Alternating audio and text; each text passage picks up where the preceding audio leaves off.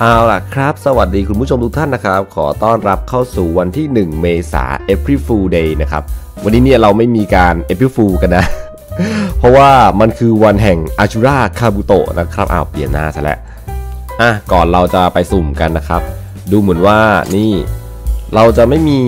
ตู้แบนเดอร์ของคิงเข้ามาพร้อมกันกับคาบุโตะนะครับ ก็มันก็น่าอยู่เนอะเพราะว่าเข้ามา 2 ตู้พร้อมกันนี่เก็บไม่ทันจริงๆนะเพชรเนี่ย สงสัย GM ทางนู้นคงได้บทเรียนแล้วล่ะเข้ามา 2 ตู้พร้อมกันสายฟรีคงจะเลิกกันนะ แต่ว่าก็ไม่รู้นะครับว่าเขาจะหาทางลัดคิวกันมายังไง เพื่อให้เซิร์ฟเวอร์มันทันกับเซิร์ฟเวอร์จีนะก็เดี๋ยวรอดูกันต่อไปแล้วกันนะครับเอาเป็นว่าสำหรับเจ้าคาบุโตะนะครับตอนนี้เนี่ยผมมีผลึกอยู่แล้วทั้งหมด 6 อันนะครับแต่ว่าขาดแค่ลูกแก้วแค่นั้นเอง ซึ่งผลึกเนี่ยคือผมได้มาจากอีเวนต์ตอนของบากุซันนะแค่นั้นเองนะครับ เพราะว่าตอนบากุซันมาผมไม่ได้ใช้ผลึกไงผมเก็บเอาไว้นะครับ เพราะว่าเผื่อว่ามันจะมาในกรณีแบบเดียวกับคิงอะไรแบบนี้ก็เลยรอดูเลย แต่ว่าในเมื่อมันไม่มาเนอะก็ใช้ไปเลยไม่ต้องกังวลแล้วตอนนี้อะไปเริ่มสุ่มกันเลยผมขอดูกันนะมีตู้อะไรบ้างเอ่อตรงนี้ผมขาดแค่เหมือนเดิมราชาใต้ดิน ไม่ใช่สิ มันต้องราชาทะเลลึกเนอะยิปซีคิงส่วนที่เหลือได้หมดแล้วนะครับ แล้วก็ SR อย่าง SR ตัวเก่าอยู่เนอะไอเทม2%นะครับ SSR 1.3%ป่ะซุ่มกันเลย แล้วเป้าหมายของเรามีแค่ลูกแก้วแค่นั้นเองนะครับ ดังนั้น 10 โลแรกจัดไป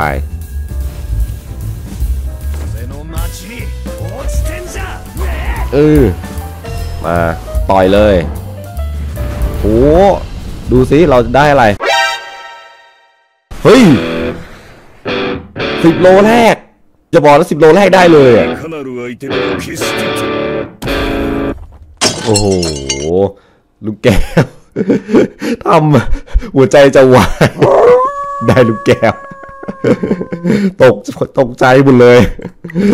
โลสิบยี่สิบโล โลสิบโลที่สองอะทุสิบแม่งเจอสีเหลืองเข้าไปที่พูดผิดผิดถูกถูกกันเลย ติดโลรอบที่สองสีม่วง อ่า ยุ่งยุ่งอะอะ รอบที่สามสคิปเลยแล้วกันนะครับ รอบนี้ ดูซิรอบที่สามได้อะไรอ่าแม็กอะ รอบที่หกรอบนี้เราลองไม่สกิปดูกันแล้วกันนะครับ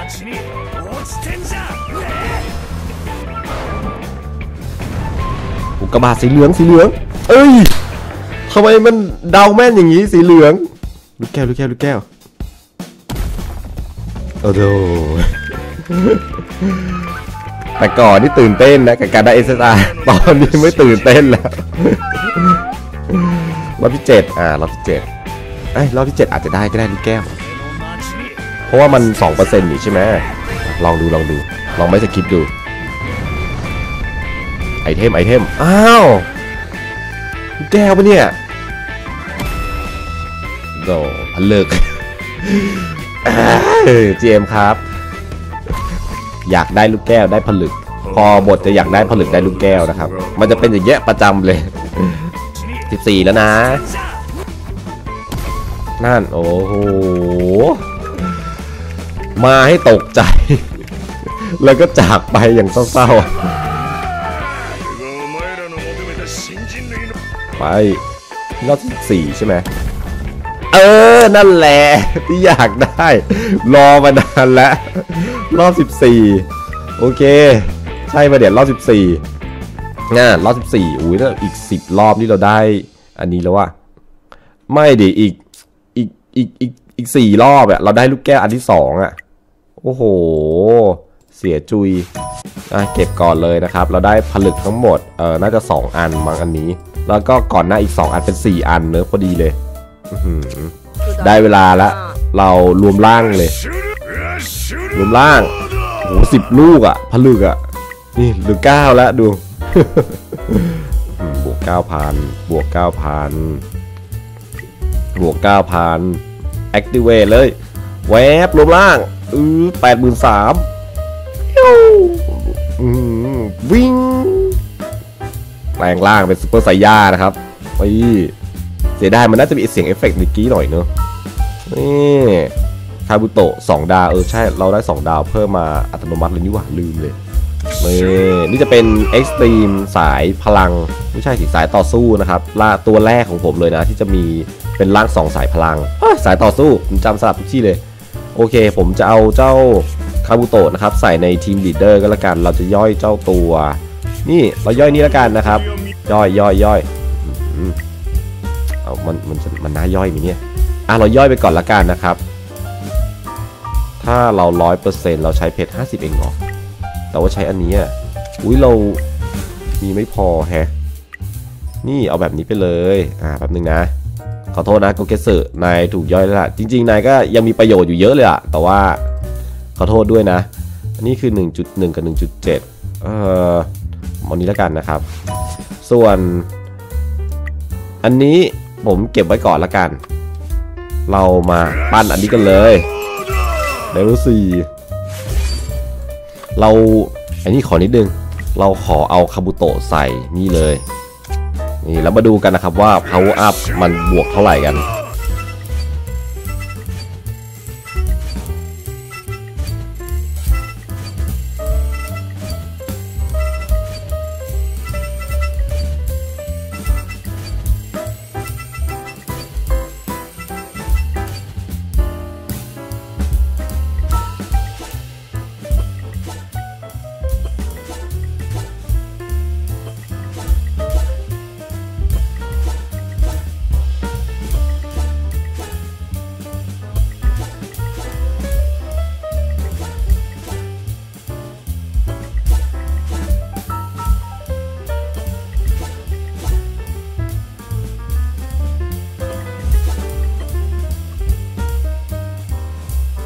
นิดหนึ่งติ่งหนึ่งเหลืออีกนะ อ่าเอาไปเลยอีกหนึ่งติ่งอ่านั่นแหละ อุ้ยขาดอะไรอะร้อยเก้าขาดอีกหนึ่งเลเวล นี่แล้วเรามาอัพอันนี้กันนี่สามดาวนะครับ โอ้โห นี่อัพที่ด้วย ได้ไหมเอาเวกพาสซีอุ้ยเอาเวกพาสซียังไม่ได้เหรอ ดาวม่วงกัน น่าจะได้แค่ 1 ดาวก่อนนะนี่ไงได้แค่ดาวเดียวก่อนนะครับ เดี๋ยวตรงนี้ค่อยๆทยอยอัพแล้วกันนะครับ5ดาวเหลือง5ดาวม่วงไปเลย เอ้โอเค เราใส่นี้ล่วงหน้ารอไปเลยแล้วกันนะครับ เพราะว่าได้พลังเนอะใช่ไหมอ่ารอรอ entering the world โอเค อืมสองวัน อืมอุ๊ย โอ้โห เบรกไม่ได้เหรอ ส่วนอาวุธเนี่ย เราเอาอันนี้เดี๋ยวเราเอาแน่นอนนะครับ ดังนั้นใส่ไปเลย 30,000 Battle Point อีกดาวหนึ่ง9,000 นะครับ อันนี้ใส่ไปเลยเอาให้เต็มที่ได้เท่าไหร่นั้น45,000 23,000ปึ๊บ23,000เอา4ดาวไปเลยปึ๊บนี่ โอ้โห บวกมา46,000น่าจะอู้ไม่ได้แล้วอะเดี๋ยวเราจะเอาให้6ดาวเลยนะครับรอก่อนรอกันอะเอาเลเวล114ไปเลย จัดเต็ม อ้าว ไม่พอ ตังค์ไม่พอ ประมาณนี้ พอไหมเดี๋ยวแสนเจ็ดอะอึบอึบอึบอืมเหลือเก้าหมื่นไม่พอนะครับ ได้แค่นี้แหละ ส่วนอาวุธเดี๋ยวผมยังลังเลอยู่นะว่าจะใส่เซตอะไรดี อยากใส่เป็นเซตนะครับ ระหว่าง primal กับไล่โจมตี ผมไม่รู้ว่าไล่โจมตีมันจะมีผลกับdamage จาก ulti ด้วยไหมทำให้ ulti แรงขึ้นอะไรแบบนี้ อันนี้ผมไม่รู้นะ ใส่ก่อนเลยอู้บวกห้าหมื่นห้าบวกห้าหมื่นเจ็ดโอ้หมดแล้วเหรอ เอาเวรกรรมหมดแล้ว ใส่ไปก่อนนะครับ โอเคอ่าแล้วเหลือกางเกงอะกางเกงไม่มีอะนี่ของเราขาดมากเลย เอานี่ไงกางเกง อีหยังนี่ เอ่อ อะ อันนี้ เพราะว่าโจมตีมันมี crit อะ โอเค ใส่ใหม่นะ อันนี้บวก def เราไม่เอาอะ เรา เอ่อ อันนี้อะไรนะ อ๋อ นี่ไง นี่ไง อ่า โอเค อย่างน้อยยังได้ perk อันนี้มา ต่อไปอันนี้ใส่ไปโลด อันนี้เราปั้นใหม่ไปเลยแล้วกันนะครับ อ่า ใส่ไปจัดไป เกโลกิโลเหรอ ได้ bonus damage bonus damage น่าจะคิดด้วยหรือเปล่าผมไม่แน่ใจนะ ผมว่าเอานี้แล้วกันนะครับ อ่า ใส่โลด รีเพจไปเลย นี่บวก 1 0 0 0 0แสน ส่วนกิโลกิโล นายเอาไปแถวนี้ ใส่ยัดยัดไป อะขอโทษนะ โอเคออกมาโอ้โหเริ่มเปิดมา 3 ล้านยังถือว่าน้อยนะผมว่าเพราะว่าเนี่ยมันไปไกลแล้วไงที่เหลือโอเค เรามาดูกันที่ความสามารถกันบ้างเอ่ออันนี้เนี่ยพื้นฐานคือโจมตี 5 ฮิตเนอะใส่เป้าหมายรายเดียว damage 100%บวกกับ Max HP อีก25%ก็ยังพื้นๆอยู่นะ แต่ก็ถือว่าโอเคตรงที่มันมีบวกพลังโจมตี 25%ไงอ่าไม่ใช่บวกพลังโจมตีบวก พลังชีวิตสูงสุดเป็นพลังโจมตี 25% ส่วนอันนี้เนี่ย ulti นะครับก็คือสร้างความเสียหาย 100%ของพลังโจมตีใส่เป้าหมายรายเดียวใช่ไหมแล้วก็มี charge damage เพิ่มอีก 35%ของพลังชีวิตสูงสุด ก็คือมีพลังโจมตีเนี่ย 100%อันหนึง แล้วก็อีกอันจะเป็น charge damage นะครับ 35%ของ Max HP ก็ damage เนี่ยมันจะมาจาก 2 อันเนอะแต่ว่าหลักๆเนี่ยมาจะมาจากอันนี้ charge damage นะครับโอ้อันนี้เพิ่งรู้เนี่ยว่ามัน charge damage ด้วย ไอเราก็คิดว่าแบบเออพลังโจมตีที่คิดจากพลังชีวิตสูงสุดเหมือน G นอตไปเลยอะไรแบบนี้ว่าอ๋อไม่ใช่เฮ้ยแบบนี้มันก็ทะลุโลปู่บอมดิเอาว่าทะลุโลปู่บอมเว้ยจากนั้นเนี่ยเอ่อเปิดใช้งาน Effect Out of Control นะครับสำหรับรอบนั้นๆนะโดยที่ Out of Control อันนี้เนี่ยคือน่าจะหมายถึงบ้าคลั่งนะจะเป็นการทำการไล่โจมตีฝ่ายตรงข้ามด้วย Ultimate Skill นะครับ ซึ่งจะไล่โจมตีหลังจากที่อีกฝ่ายเนี่ยทำการเคลื่อนไหวไปแล้ว โดยที่ดาเมจเนี่ยเออน่าจะหมายถึงว่า 100% damage หมายถึงอันเนี้ยสองอันเนี้ย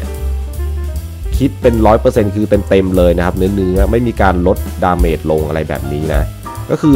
100%ของ Effect Ultimate Skill ก็คืออันเนี้ยอันเนี้ยสองอันเลย พลังโจมตี 100%กับชาร์จดาเมจจาก My HP อีก 35%นะครับ โดยที่ไม่ต้องเสีย ลูกแก้วพลังงานเลย เป็นเวลา 2 ครั้งต่อ 1 รอบนะครับ อันนี้ ซึ่งถ้าอัปเกรดแล้วเนี่ย มันก็จะกลายเป็นอันนี้ อันนี้ยังเหมือนเดิมแต่ว่า charge damage เนี่ยเป็น 45%จากของเดิม 35%นะครับส่วน 100% damage อันนี้ไม่มีการอัพขึ้นนะเหมือนเดิม แต่ว่าที่เพิ่มเข้ามาเนี่ยก็จะมีนี่สามารถฮิวตัวเองได้ 1 1 ครั้งเหรอ ไม่ใช่หมายถึง 1 รอบนะครับ สามารถฮิวตัวเองได้ 1 รอบนะครับ โดยที่ limit การ heal ใช่ไหมจะอยู่ที่ 35%ของ Max HP อัดทีนี่เลือดเพิ่มที1ใน 3 เลยนะครับเนี่ย โอเคมาดูกันอันนี้มั่งนะครับสำหรับ Passive Skill เนี่ย หลังจากที่ได้รับความเสียหายหรือพ่ายแพ้ไปแล้วเนี่ย จะทำการสะท้อน damage 50%ของความเสียหายที่ได้รับ ใส่เป้าหมาย 4 ตัวแบบสุ่มนะครับ ซึ่งอันนี้อันนี้ผมไม่แน่ใจนะว่าหมายถึงอะไร น่าจะหมายถึงว่า ถ้าโล่ยืดหยุ่นเนี่ยได้รับความเสียหายด้วยเนี่ยก็จะคิดความเสียหายจากโล่ยืดหยุ่นตรงนั้นด้วย รวมไปถึงโล่ธรรมดาด้วยนะครับบวกกับ HP ที่เสียไป กลายเป็น damage ที่สะท้อนใส่อีกฝ่ายน่าจะหมายถึงอย่างนั้นนะเออถ้า 5 ดาวเหลือเนี่ยก็จะเป็น 50%เหมือนกันนะครับจากเดิม 50%ของใหม่ก็ 50%แต่ว่าใส่ทุกตัวเลยนะครับ ส่วน 5 ดาวม่วงเนี่ยจะเป็น 60%ใส่ทุกตัวเลยนะครับ ผมว่าจริงๆ แล้วเอาแค่ 5 ดาวเหลืองก็พอนะ เพราะว่าถ้า 5 ดาวม่วงคือเพิ่มมาอีกแค่ 10%ไง แต่ว่า เฮ้ย มันก็ อย่าไปคิดมาก 5 ดาวม่วงจบ ส่วนอันนี้นะครับ Awake Passive เนี่ย เมื่อเริ่มการต่อสู้เนี่ยจะเพิ่ม อ๋อ Max HP บวกอีก 25%นะครับ แล้วก็ Effect Boost Max HP เนี่ย คูณ 4 ก็คืออย่างเอฟเฟกของกิโลกิโลเนอะที่เพิ่มเลือด4เท่า ก็คูณอันนี้ไปด้วยอีก 4 เท่าป่ะ น่าจะหมายถึง 4 4บวก4เป็น 8 น่าจะหมายถึงอย่างนี้ป่ะ หรือว่า 4 คูณ 4 เลยเป็น 16 อันนี้ผมไม่แน่ใจตรงนี้นะ แล้วก็ฮิลให้ตัวเองด้วย 50%ของ HP เอ่อฮิลอันนี้ฮิลยังไงเดี๋ยวผมต้องไปดูแล้วว่าฮิลยังไง โอเค มาดูอัปเกรดกันนะครับ นี่ถ้าเราอัปเกรดนะครับ จากเดิมมา HP 25 คูณ 4 ของ Boot Effect แล้วก็ Recover HP อีก 50%นะครับ จะเป็นนี่เลย Max HP เป็น 50 เป็น 30%จากเดิม 25 นะ แล้วก็อันนี้นะครับ หลังจากที่แพ้แล้วจะเรียกตัวเองชุบชีวิตตัวเองกลับมาพร้อมกับเลือดอีก 70%ในรอบถัดไป โดยจะมีผลได้แค่ครั้งเดียวต่อหนึ่งสนามรบแค่นั้นเอง ก็ถือว่าโอเคนะ เพราะว่าถ้าถ้าที่ผมดูในเซิร์ฟจีนย่อเนี่ย คือกว่าจะเอาด้วงลงก็คือจับแล้วอะแล้วมีการชุบตัวเองอีกนี่คือหนักเลยอะแล้วบวกกับฟีนิกซ์แมนอีกแต่ฟีนิกซ์แมนมันลากออกนอกสนามได้ไงอตอนนี้พร้อมแล้วพร้อมบวกกับทุกคน แต่ว่าก่อนอื่นเนี่ยขอฟาร์มที่นิดหน่อยก่อนละกัน เดี๋ยวเอาเป็นว่าเดี๋ยวเจอกันใหม่คลิปหน้ากันละกันนะครับ คลิปหน้าจะพาเจ้าคาบุโตะหนูน้อยด้วงของเราไปบวกกับทุกๆคนกันเลยอ่า เอาเป็นว่าคลิปนี้ผมขอลากันไปเท่านี้ก่อนละกันนะครับ เดี๋ยวเอาไว้เจอกันใหม่คลิปหน้านะครับ ทุกคนสำหรับวันนี้ลาไปก่อนนะครับ สวัสดีครับ